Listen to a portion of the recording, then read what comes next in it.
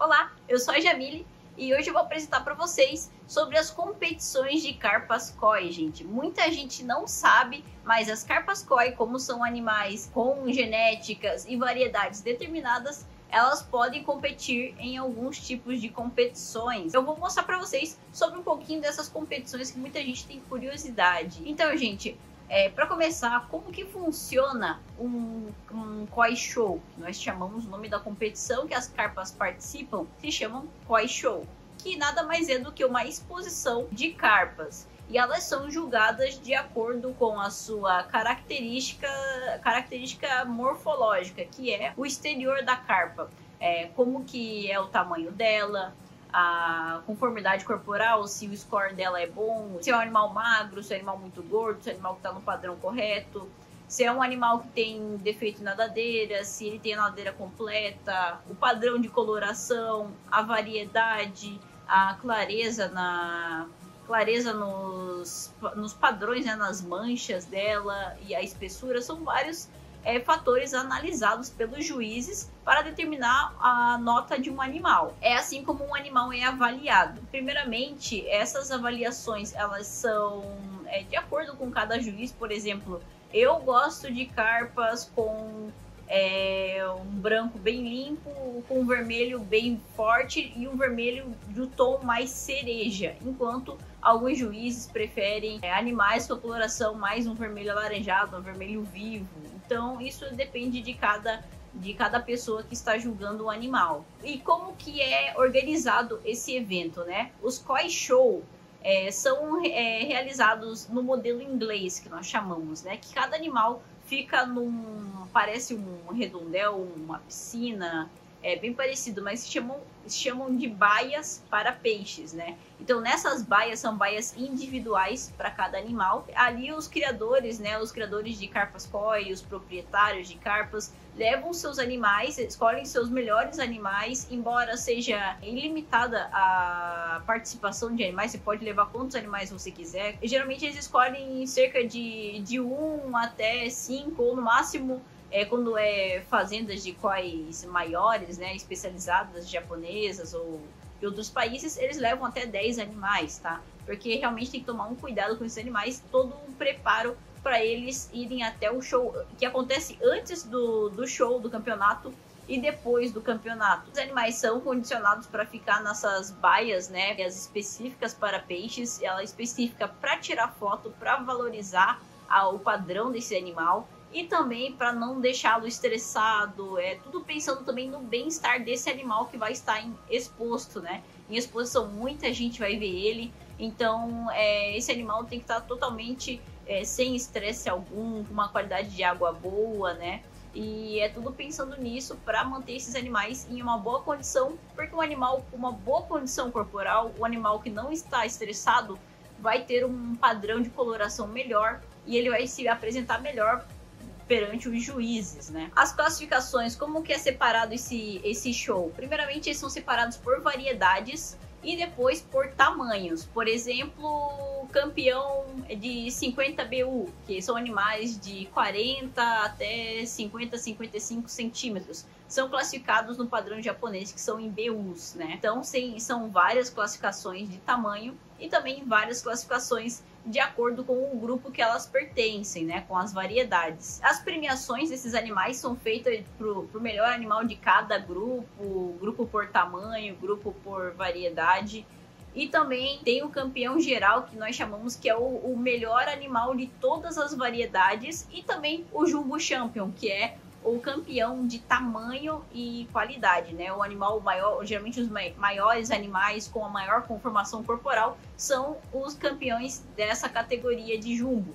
E é uma categoria específica porque ela não tem variedades específicas. Ela é várias, pode participar qualquer animal que tenha um grande porte físico e que seja extremamente bonito, né? E com uma conformação corporal acima de 70 BUs, que são animais acima de 70 centímetros. Então participam de animais de 70 até 1,20m, a quantidade disponível do maior animal, tá? E é um prêmio bem importante também para as variedades. Agora vamos falar um pouco sobre a avaliação desses animais, como que eles são avaliados, né? Primeiramente, pela conformação. A conformação corporal é o fator, o maior fator a ser avaliado de um animal, para ver se o animal está realmente perfeito. É um animal que não tem nenhum desvio de coluna, não tem nenhum desvio de nadadeira, a nadadeira dela tem que ser bem certinha. Esses animais devem ser totalmente simétricos, né? As nadadeiras têm que ter o mesmo tamanho, o mesmo formato, é, todas as nadadeiras devem ser iguais, né? E tem que ser é, balanceado. Não pode ser, por exemplo, um animal com um corpo muito grande com uma nadadeira pequena, ou então uma nadadeira muito grande para um animal pequeno. Então tem que ter essa harmonia da composição corporal desse animal. Tem que ser todo harmônico e simétrico, que é o, o principal fator a ser avaliado. A carpa não deve ter nenhum tipo de irregularidade, é, barbilhão faltando, nadadeira faltando, nadadeira mordida. O corpo dele deve estar livre de qualquer tipo de marca, cicatriz ou então marca de, de doenças que ele teve, marca de parasitas. Ele deve ser um animal totalmente saudável e também um animal que tenha uma boa aparência, né? O corpo dela deve ter em formato de torpedo, né? Que a cabeça ela é, afuni é funilada assim, ali na, no ombro dela é um pouco mais alargada e até a cauda ela vai ficando mais afinada de volta. Então, esse formato de torpedo que é o, o ideal para as carpas koi, tá? Tanto para machos quanto para fêmeas. A cabeça deve ser larga e é, ligeiramente convexa, tá? Ela tem que ter uma leve curvatura na cabeça e o nariz bem arredondado.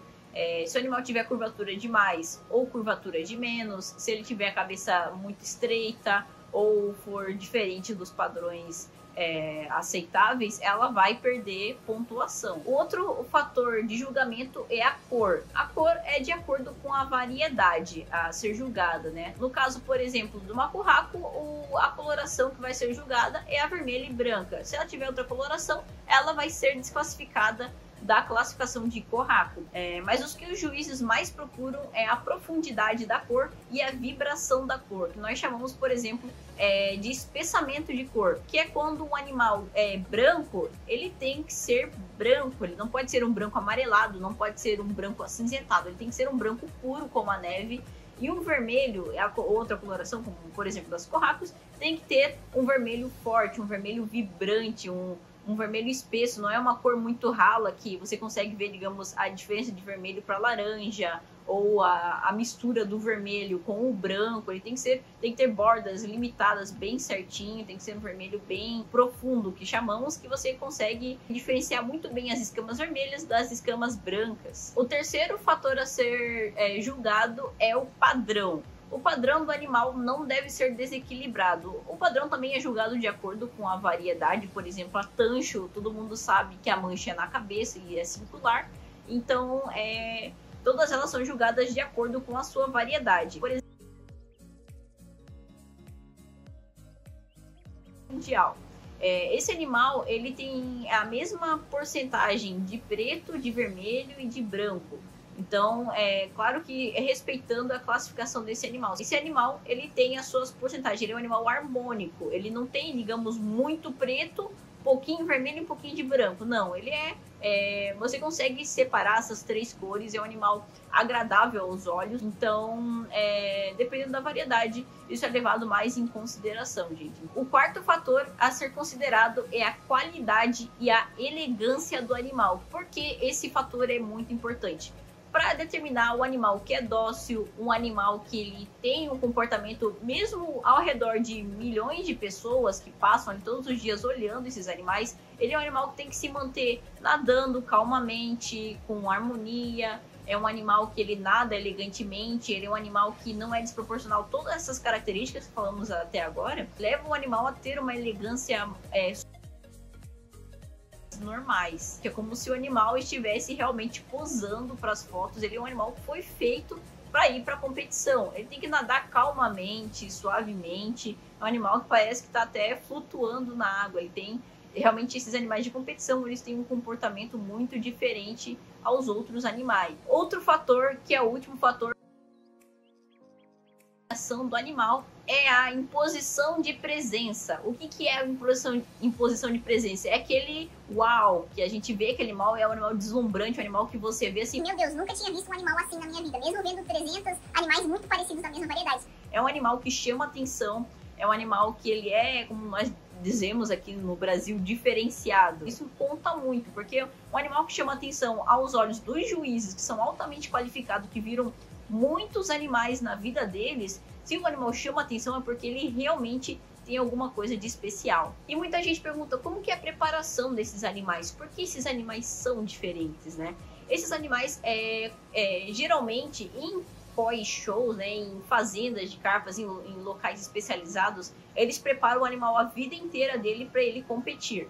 Então é um animal que recebe uma alimentação diferenciada, recebe um, uma ração mais balanceada nutricionalmente, é um animal que é cuidado dessa alimentação, ele é, tem um cuidado para ele nunca pegar é, nenhum tipo de doença, nenhum tipo de parasita, então é um animal muito bem cuidado, né? É um animal que recebe um investimento muito alto. Então esse animal ele é ele é cuidado e tratado para que ele seja um campeão mesmo, né? Muitas vezes, às vezes dá certo, às vezes dá errado, dá. Isso é, depende de vários fatores e que não cabem a nós, né? Nós não sabemos de tudo, não sabemos também do futuro. Então, às vezes pode acontecer alguma coisa que esse animal vá ser desclassificado, mas geralmente um animal sempre bem tratado e cuidado para isso, ele vai se tornar um animal de competição. Quando esse animal já é, é já, já são adquiridos esses animais maiores, e a pessoa quer levá-la para uma competição, esses preparos para a competição tem que ser pelo menos quatro meses antes da competição, com uma alimentação mais adequada, com níveis de proteínas maiores, né, para que esse animal ganhe bastante peso, bastante score. É feito todo um tratamento é, para antiparasitário, antidoenças, anti tudo, né, para que esse animal não venha a ficar com nenhum tipo de problema nem nada próximo da competição. E esses animais geralmente são preparados durante o verão, porque as competições de carpas geralmente ocorrem no inverno, né? Inverno, outono, no máximo na primavera. Porque esses animais, quanto mais a temperatura fria, mais intensa fica a cor dela. Então, principalmente os japoneses que fazem na, na nas semanas mais frias do Japão, que é para que esse animal realmente fique com uma coloração muito viva, para que ele chame mais atenção. Então, é, na temperatura fria, a carpa é favorecida. Para manter um animal de competição, também tem que ser levada sempre em consideração a qualidade de água. A qualidade de água é muito importante para ele não desenvolver nenhum tipo de coloração anormal. E o mais importante, por que as pessoas levam esses animais para show? Porque um animal de show, ele é um animal que ganha dinheiro. É um animal que você leva lá quando ele ganha os prêmios. Os prêmios geralmente são em dinheiro. Então, dependendo do, do show de carpas, os prêmios são diferentes e eles são muito importantes, tanto para o prestígio do criador, da loja, né, que ganha. O mais importante nem é os próprios prêmios do, da competição, e sim os troféus.